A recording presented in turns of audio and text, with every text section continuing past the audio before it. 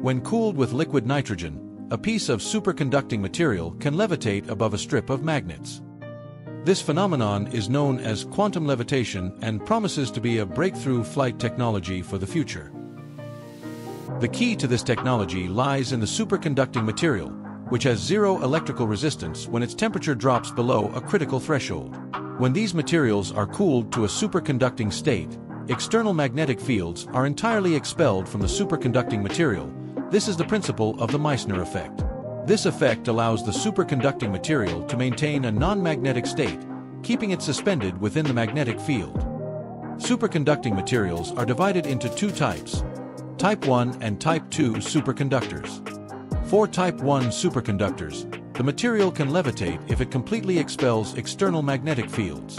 However, its position and trajectory remain unstable, as it constantly attempts to rise to avoid the external magnetic field lines. For Type 2 superconductors, the external magnetic field is not completely expelled. Instead, there is still a very small amount of magnetic flux penetrating the material, and these flux lines appear in the form of particles called quantum vortices. At the locations of these quantum vortices, the superconducting properties are locally disrupted, and any movement of the superconductor in space causes these particles to move as well. To prevent the destruction of the superconducting state throughout the entire material, the superconductor locks itself into a fixed position within three-dimensional space, thereby keeping the position of the magnetic field particles from changing. As a result, the material remains stably suspended in the three-dimensional space.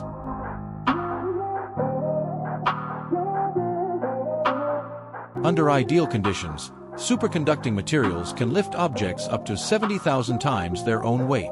This means that a piece of Type 2 superconducting material with a diameter of 3 inches and a thickness of 2 millimeters could lift a 1-ton car.